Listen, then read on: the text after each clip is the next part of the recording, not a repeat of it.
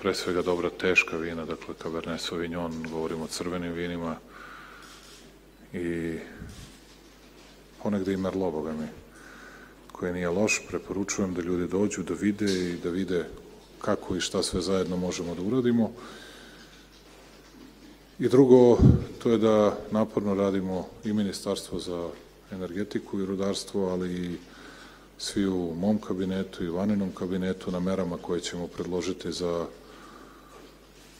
finansijskim efektima za uštedu električne energije za domaćinstva, onda ćemo to videti i za kompanije, kako i na koji način možemo da uštedimo što je moguće više električne energije. Za vašu informaciju, juče smo uvezli nešto više od 4 gigavata električne energije i to nas je koštalo 2,4 miliona evra. Po 530 evra po megavat satu smo plaćali juče, dakle, a prodajemo na našem tržištu, prodajemo našim građanima za 41 evra, dakle gotovo 14 puta manje. To ne može ljudi da izdrži niko, a, a leto je. Leto je. Tek sada su krenuli da se podižu nešto hidropotencijali, da ne pričam da kad se obradujete kiši, ako ni zbog čega, zbog repe i zbog lucerke, onda imate problem na kopovima i u svakom slučaju bit će mnogo, mnogo teško leto, još teža jesen i najteža zima i u svakom, ali borit ćemo se zajedno i verujem da ćemo sve te poteškoće moći da prevaziđemo. Uskoro ćemo izaći sa merama za sve građane. Izvolite. Izvolite. Tanja Lubarda, televizija Most, izvolite. Predsedniče, e, dobro je poznato da Kuba ne priznaje Kosovo i sada je predsednik Kube e, rekao da je Kuba uvek na strani pravde. Pa e, koliko su zemlje koje podržavaju nezavisnost Kosova na strani pravde? Hvala vam. Ovo je samo, verovatno ste lapsus napravili, ovo je ministar spoljnih poslova Kube, gospodin Parilja, predsednika Kube Dias Canela, Miguel, Miguel Dias Canela sam pozvao u posetu Srbiji i ono što je za nas važno to je da imamo dobro razumevanje sa njima. Gospodin Parilja je jedan od najuglednijih diplomata i najuglednijih ministara spoljnih poslova u karibskom, inače latinoameričkom svetu.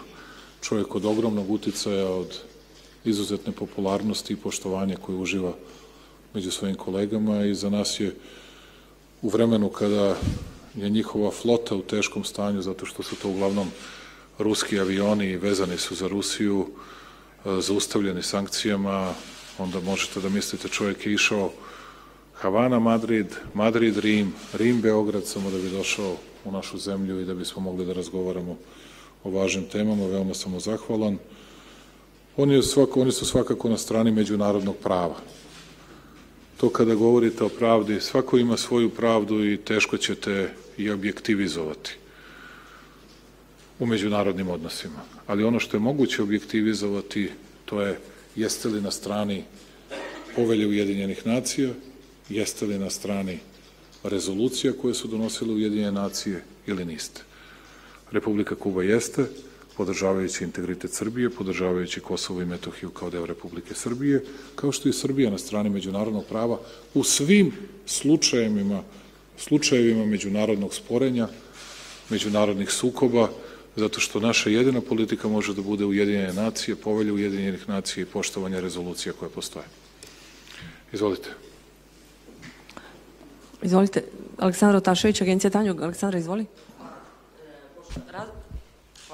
E, razgovori o odluci Prištine su i dalje u toku na temu preregistracije vozila. Imali smo priliku da od Borelja čujemo pomalo optimističke reči da je izrazio nadu da će i taj problem biti rešen kao što je i rešen e, problem pitanja e, dokumenta. E, zanima samo da li, da nam kažete na osnovu čega on bazira taj optimizam i da li imate neki detalj koji biste mogli da podelite sa nama, a tiče se ovih razgovora koje su u toku, a to je kao što smo imali priliku da čujemo i od Eskobara jedno od pitanja koje čak i međunarodnu zajednicu uzbunilo. I drugo pitanje se odnosi na Europride. Dolaze pritisci iz Evropske unije i od naše opozicije prete pre, e, protestima, e, tužbama Evropskom sudu za ljudska prava i slično. Da li razmišljate o zabrani? Da li to vidite možda kao neki vid najnoviji ozbiljan pritisak politički i bezbednostnu pretu za sve nas? Što se prvog pitanja tiče, pa dobro, evropski političari su mnogo pametniji od mene i ozbiljniji. Oni ne moraju da budu mrgudi kao ja i ne moraju uvek da imaju pesimističan i loš scenarij u glavi. Ja ne vidim nikakvo rešenje u ovom trenutku i 1. septembra će svakako oni ići sa tom svojom kampanjom i pokušavati Srbe da nateraju da promene tablicu. Ja mislim da u tome neće imati velikog uspeha. Kurti je na razgovorima u Briselu izjavio i izjasnio se da veruje da će imati velikog uspeha. Pošto je siguran da će Srbi prihvatiti tu njegovu ideju da zamene KM table. Vidjet ćemo. Ali to je proces koji će da traje.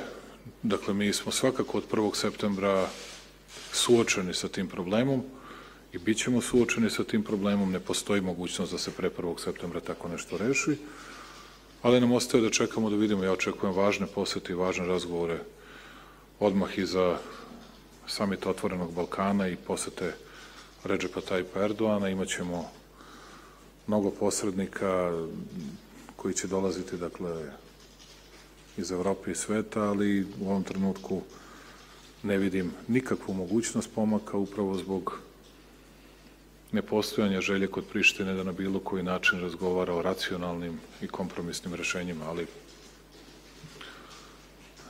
da ne bude sve kako ja mislim,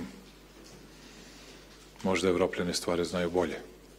Što se tiče vašeg drugog pitanja, vidite, rekli su mi da je Ana, da je onoga o čemu smo pričali, valjda iskoristila jutros na televiziji, ali mi danas u Srbiji upravo zbog svega onoga što se dešava u Ukrajini imamo jedan dodatni problem. Naravno, najveći problem su nam, nam je energetika u ovom trenutku i trudimo se da na sve moguće načine, svim svojim silama, svim svojim snagama rešavamo te probleme. Kad bih vam rekao kako to izgleda kada sa našim kineskim partnerima razgovaramo, koji su zaista divni i koji nam pomažu mnogo, Jer ako bismo sad poslali našu delegaciju iz EPS-a u Kinu, onda imate 7 plus 3 dana karantina, pa onda još čekanja, pa onda u povratku morate da čekate, pa bi to trajalo po mesec dana dok, smo, dok bismo mogli da ustanovimo kvalitet i meljivost uglja koji nam je neophodan, ta 2 miliona tona, pa sad kako ćemo diplomatskom valizom da iz indonežanskog rudnika uzmemo 50 kg i kako da pošaljemo za Beograd i da se to proveri ovde i da onda kupimo ta 2 miliona tona, pa kako da prevezemo do Konstance, u Konstanci nas čekaju barže, Dunav srećom pomalo raste, pa se nadamo da kad dođe, dakle, da ne verujete, a samo vam pričamo o jednom malom, malom delu, ne pričamo o svim problemima sa kojima se suočavamo, dakle, kada imate sve te probleme, kada imate pritiske po pitanju uvođenja sankcija Ruskoj federaciji, a Srbija zna da sankcije ne donose ništa dobro i znamo to i po našem i na našem primeru i sami smo bili žrtve takve, takvih sankcija, dakle, a, kada sve to imate, onda dolazi vam do ekstremizacije političke scene. Imate, vi kažete, opozicija hoće u proteste zato što će da bude zabranjen Pride. Pa neki su protestovali zato što nije bio zabranjen. Samo niko nikada se nije zalagao ni za šta, osim što su jedni i drugi protestovali uvek samo protiv države. Dakle, imate dva ekstremna dela i oni postaju sve snažniji, nema nikakve sumnje, zato što u ovakvim uslovima pristojna Srbija i normalni ljudi, oni ćute i gledaju šta svi drugi rade nadajući se da će država sama moći da se izbori protiv svih njih. Jedni bi po svaku cenu da šetaju, terajući kontru onim drugima koji I baš ništa drugo ne dolazi u obzir, terajući kontru onim drugima koji bi sebi da dozvole pravo na šetnju uvek i u svakom trenutku, ali da onim drugima nikad ne dozvole. I da ih pitate šta je tu racionalno, sve zajedno. Niko ne zna da vam kaže. Molite ih, kažete im, imamo bezbroj problema. Imamo Kosovo i Metohiju. Neki su govorili, kaže, pa ovo je jednako važno kao Kosovo i Metohija. Stvarno? Toliko vam je malo važno Kosovo, koliko vam je važno hoće li biti ili neće biti šetnje nekih ljudi. Tužna istina ako je to tako. I sad šta da radi država? Pošto niko neće da se stavi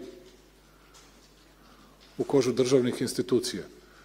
S jedne strane imate histeriju protiv parade, nepotrebnu, besmislenu, umesto pusti, skloniš se, ako ti se ne sviđa, ne sviđa se ni meni. Taj dan odem, odem na vol, odem kosma i odem bilo gde. Odem na promenadu. Ne moram da gledam, ni, ni, ništa posebno, niko me ne napada. Šta je problem? Ovi drugi, kad im kažete ne postoje bezbedonosni uslovi, umesto kažu žao nam je i borit ćemo se za svoja prava, tražit ćemo načine i sa državom i sa svima drugima kako da to prevazićemo. Čak i stranci koji vode veliku kampanju bi nešto negde i razumeli, ali ovi domaći, ne, ne, nećemo, mi ćemo da idemo, mi ćemo da idemo tamo baš da vidimo šta će da rade huligani i hoće li država da nas zaštiti. Pa šta sad mi treba da kažemo, da pustimo ove druge da ih izubijaju, da bi oni mi rekli, vidite kako smo bili u pravu, država nas nije štitila. Jedino što mogu da im kažem, to je da će odluke vlade biti poštovane. Ako je neki skup zabranjen, taj skup će biti zabranjen. I nema igre oko odluka države. I to ne radi država zašto je srećna, već vam upravo govorim o tome da i danas u eri socijalnih mreža, u eri sukoba velikih sila preko naših leđa, uvek strada normalna Srbija. I danas će vam i jedni i drugi reći, ovi jedni će vam reći, ako mi ne krenemo na zapad, isključivo i ne odreknemo se istoka, mi se odričemo modernizma, napretka, ekonomskog blagostanja. I to je važno i to je dobro za Srbiju. Uvek će to da uvežu sa Srbijom. Ovi drugi će vam reći, e, ako ne budemo slušali i ne vežemo svoj mali čamac uz veliki ruski brod, propala je Srbija. Ne možemo mi da se odupremo satani i ne znam čemu sve. Ali ima tu negde srpskog interesa. Ali ima tu neko ko će da kaže, aj ljudi da pokušamo da budemo normalni.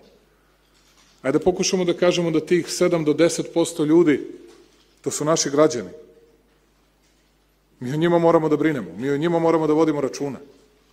Su naše braće, sestre, roditelji, deca. Ali da i njima kažemo, dajte, ne morate baš uvek prst u oko da ubodete svakome, ne biste li dokazivali nešto. Dajte da pokušamo da pronađemo neko rešenje.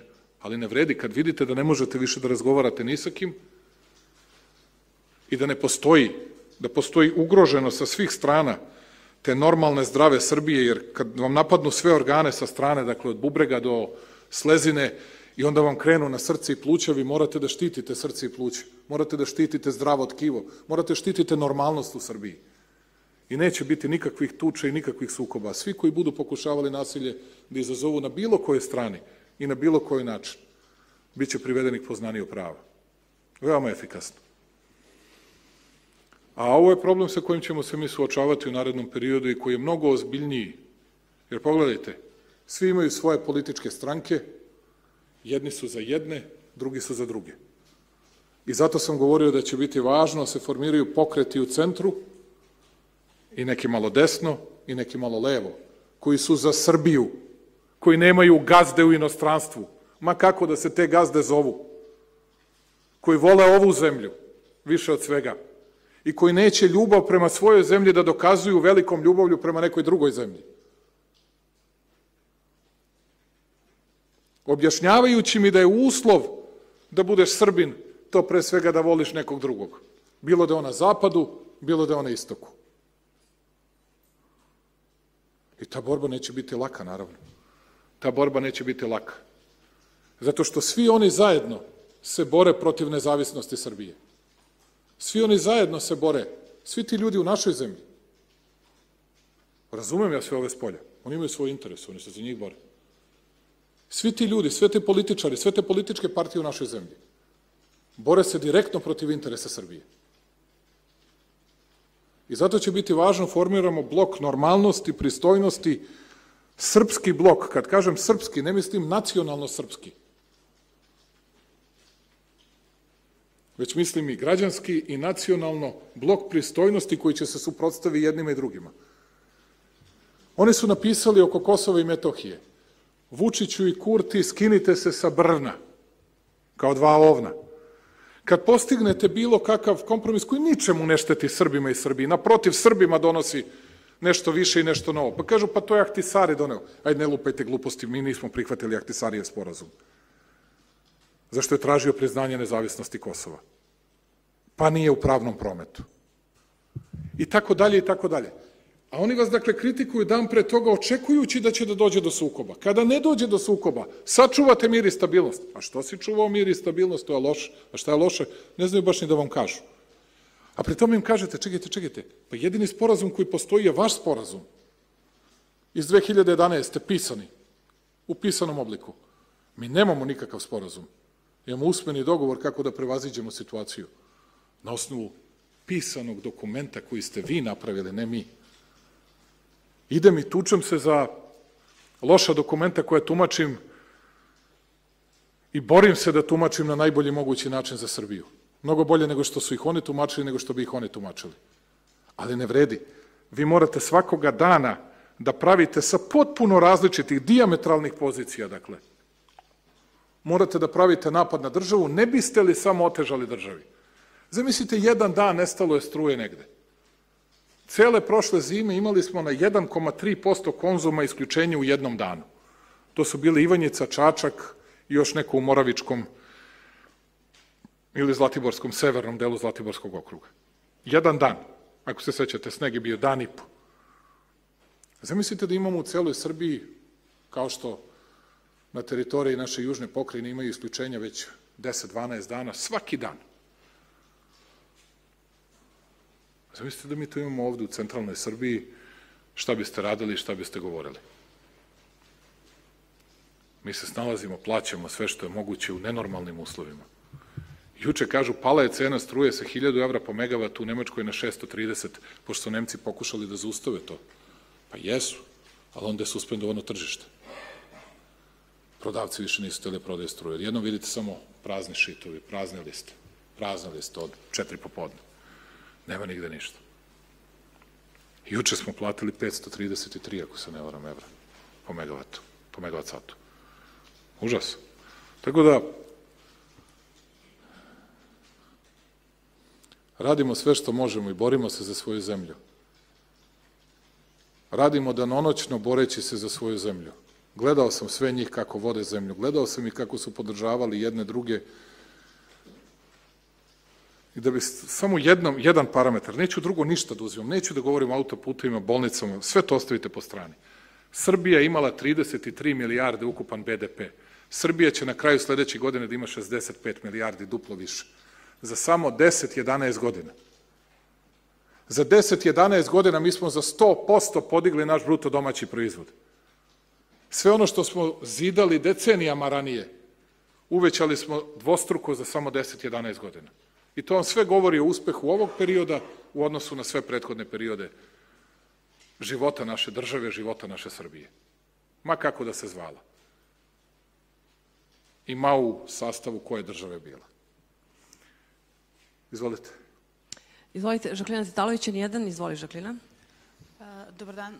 Pre neki dan ste bili mnogo konkretni što se tiče parade i te šetnje. Rekli ste da će ta parada biti otkazana, pa neka kažu da je predsednik kriv. Dakle, niste bili sada konkretni. Da li će biti otkazana ili neće biti otkazana ili, će sad, ili je to sad prebačeno da odlučuje o tome svemu vlada Srbije i e, interesuje me da li je tačno da je bilo tog sastanka mandatarke Ane Brnabić sa predstavnicama Evropskog parlamenta, među kojima je jedna od njih Viola von Kramon, znamo da je mandatarka Ana Brnabić vrlo kritikuje danju, da li je taj sastanak bio noću, da li je bio tajni, Da li, o čemu su pričale, Uh, pretpostavljam da vi to znate, ne bi se Ana Brnabić sastajala sa nekim tajno, da se ne konsultuje uh, sa vama. I moje treće pitanje je gde je dva minuta snimka sa naplatne rampe u Doljevcu? Hvala. Dakle, da bi ljudi razumeli, od dva minuta snimka sa naplatne rampe radi se o presuđenoj stvari i u jednoj od bezbrojnih laži koje su pojedini mediji i pojedini političari izgovarali sve vreme i nemam nikakav problem sa tim, niti sam bio u autu, niti sam bio pored auta, niti bilo koga štitim i gospodin Babić inače smenjen ne zbog toga, već zbog drugih stvari, a ja vas molim, nađite sve snimke, pitajte i sudiju, pitajte svakoga i rešite taj problem već jedan put, pošto vas niko ništa nije slagao, a od tih laži o umešanosti moga brata u Jovanjicu, do toga kako neko je ubica, pa neko krije ubice, to toliko nema smisla. I to je jedan deo upravo te vrste kampanje o kojoj govorim. Obesmisliti sve i uništiti sve. I svaki put kada dođete da govorite o ozbiljnim temama, da se pojavi neka tog tipa laž, glupost ili besmislica, ne bi li se o tome pričalo. Zašto? Želim ljudima koji hoće da slušaju da objasnim. Pa zato što takve laži, zato što takve neistine prolaze, ako mogu samo da vas zamolim da ne vičete, sada ja vama odgovaram. Ja mogu da vas zamolim samo? Ja mogu da vas zamolim samo? Da ja odgovaram sad? Ja idem u odličnom pravcu. Dakle, sve te laži koje iznose, sve te laži, sve te laži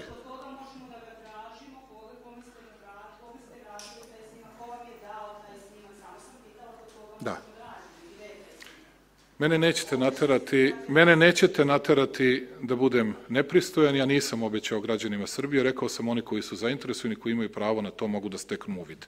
I to sam govorio vezano za porodicu, koliko znam niste porodica i nemam nikakav problem s tim. To što vi mislite da svojom bezobzirnošću i nepristojnošću možete da me navedete, da vam odgovorim na isti način, neću nikada. Dakle, sa tim lažima rade već godinama. Tri godine su vodili kampanju protiv moga brata za Jovanjicu. Tri godine. Posle toga nije bilo izvinite zbog takvih laži. Nijedne reči. Ni posle sudske presude nastavili su. Bilo je potrebno da novinar njihove kuće kaže da je to bila laž protiv jednog čoveka. Tri godine. Tri godine laži. I onda kada se to ustanovi, idemo na novu lažu. Zašto je to važno? Sada suštinski da ljudi razumeju. Zato što svaki put umesto da se govore o rezultatima, da se govori o tome šta smo radili dobro, šta ne, zašto kasnimo u izgradnje puteva, jesmo li ih uradili više nego ranije, šta možemo da uradimo za struju, šta možemo da uradimo za ugalj, šta možemo da uradimo za bilo šta, ne. Spusti neku laž. Zašto? Zato što taj antipersonalni, dakle ad hominem napad na nekoga, gde ljudi kažu, aha, ti si mi kriv, ti nešto kriješ, ti si nešto ukrao, Makar ništa nisi ukrao. Moja porodica i ja smo bili narkodileri najveći. Uz najsna... Ako, ako mogu samo da vas zovem, sad vi smetate svima, ne više meni. Meni ne smetate uopšte. Žaklina, dakle, ja, konferencija za štampu predsednika, ja te molim. Pa sve što kažete je laž. Laž je da je vozio, laž je, laž je da je vozio Zoran Babić. Sve što kažete je laž. Dakle, sve što kažete i sve što ste insinuirali, sve vreme je laž. Da se vratim na drugo pitanje, dakle.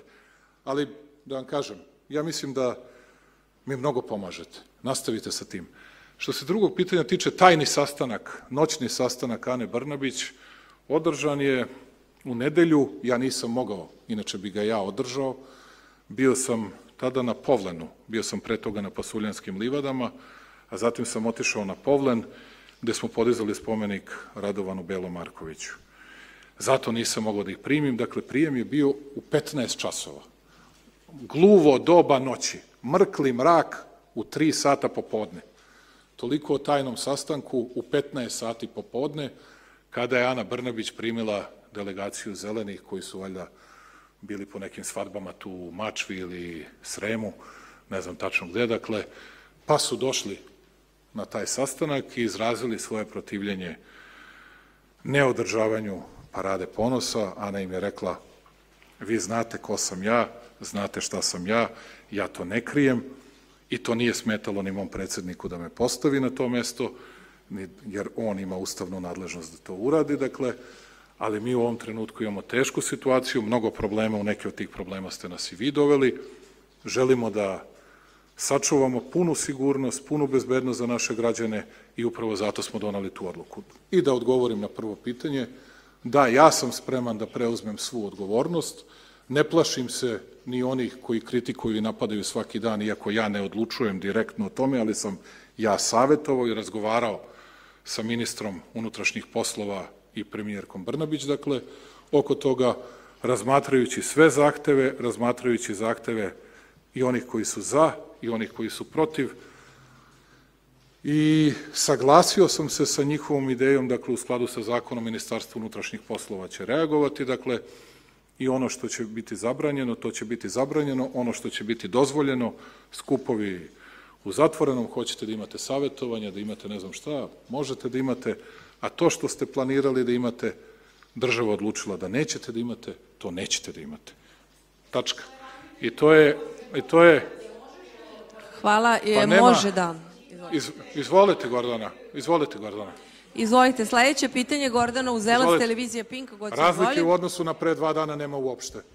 Nikakve. E, Biću, Nema Žaklina, nikakve mislim razlike. da, s- da, da si dovoljno postavljala pitanja za Twitter. Nije. E, Pitanja nije postavljala uopšte. Dobro. Izvolite, Gordana. E, Pa verovatno su to bile konstatacije. Evo, pokušat ću, za razliku od koleginice, bit ću Neuspele. pristojna, neću e, dobacivati. Imam tri pitanja za vas. E, Izvolite. rekli ste da će odluke vlade po pitanju Europrajda biti poštovane, da ako je neki skup zabranjen, da se neće održati. Svakako. A kako onda tumačite to što organizatori Europrajda kažu da će po svaku cenu šetati, pa makar ih tukli i huligani?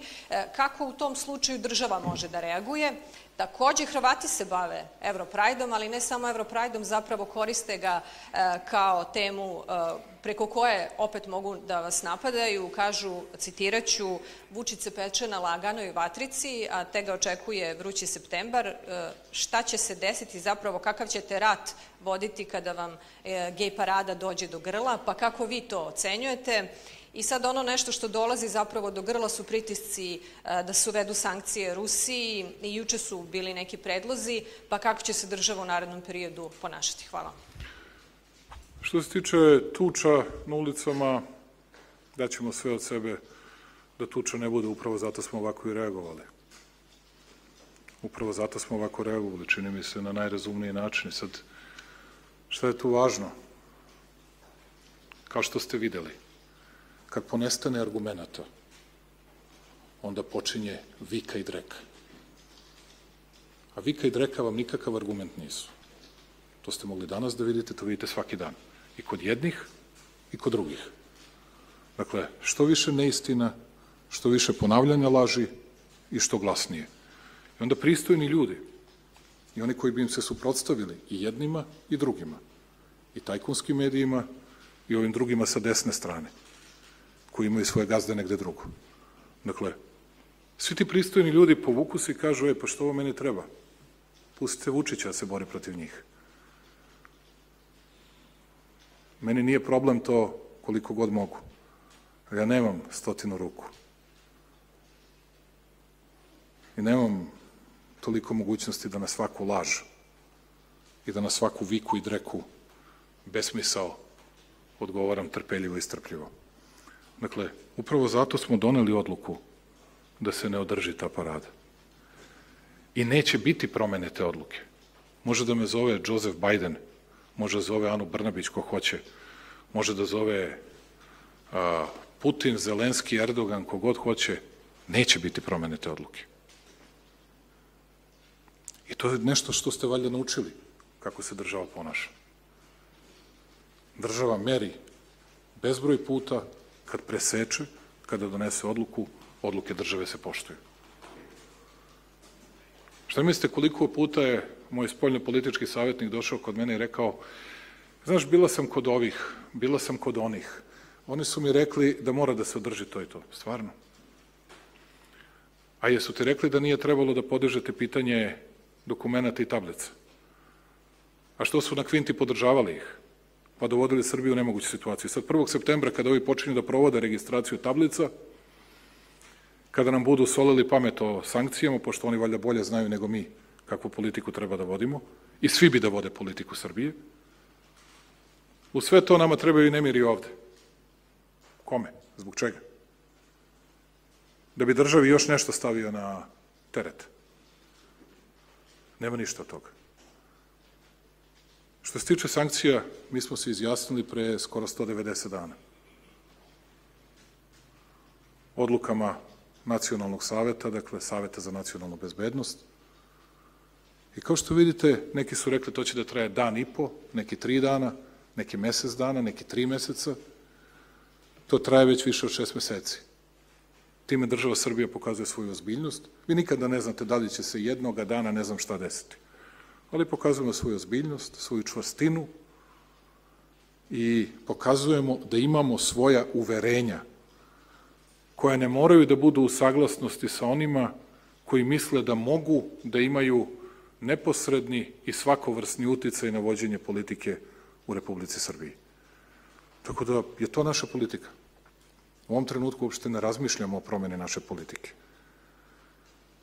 I mislim da se pokazalo pametnim to kakvu smo politiku do danas vodili. Bez obzira na sve teškoće i bez obzira na sve pritiske koje smo morali da izdržimo, a da vam kažem, neko bi rekao da bi bio petparački film ili knjiga kad bi umeo neko to da napiše, samo da mu ispričam kroz šta smo sve prošli oko pritisaka, oko sankcija u prethodnih šest meseci, makar što se obima tiče, pošto ne postoje debele knjige, postoje debele svinje, a knjige su samo obimne ili ne, dakle, ali Boga mi obima Marksovog kapitala bih mogao da sastavim samo šta se sve zbivalo u prethodnih šest meseci. Tako da mi ostajemo sa našom politikom i to ćemo da nastavimo. Za nas sada imamo važne sastanke oko energije i to je nešto što nas, jer ta energija je povezana i sa parama naravno i sa svim drugim. A spreman sam vas nekoliko da povedem da vidite na mom spratu kako sam sva svetla pogasio. Ovde ne mogu zbog vas, zato što bi ta slika otišla u svet, ali samo da vidite. Sva svetla, sve pogasio, ono frižiderče gde mi stoji zero kola i voda isključio i struje. Milina sad nije ni toplo, tako da koliko mogu malo da doprinesem, bar toliko da doprinesem zemlji da uštedi. Jer to nisu normalne cene. To nije moguće. Pogledajte šta je Crna Gora najavila za koliko će se zadužuje, pogledajte šta najavljuju svi drugi, a samo gledajte po kojim kamatama će to da bude. Bukvalno neizdrživo. Ajde još jedno pitanje ako ima i drugo. Pa ne, ne mogu da vam pravo kažem, stvarno, mi imamo u našoj zemlji nešto više od 50.000 građana hrvatske nacionalnosti, ja moram da brinem o njima. Ja razumem da je moj zahtev za odlazak u Jasenovac bio toliko neprikladan za njih i neočekivan, jer nadali su se i verovali da su svi predsednici kukavice i da nikada neće smeti da im se zamere i da traže, zamislite, taj zločin da počine strašan, da odu do Jasenovca i da polože cvet.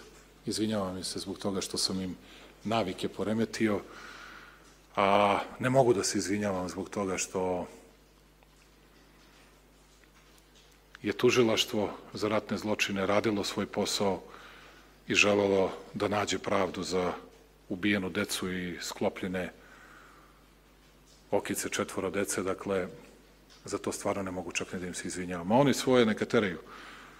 Ja se uvek pozovem na reči vladike Sergija Bihaćko-Petrovačko koji kaže Vučićevo raspeće meni znači da je radio nešto dobro za naš narod i da se borio za srpski narod.